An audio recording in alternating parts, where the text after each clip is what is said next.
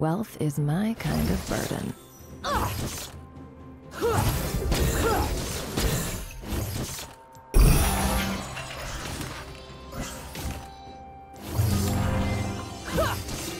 Take this! Victory is what I'm paid for.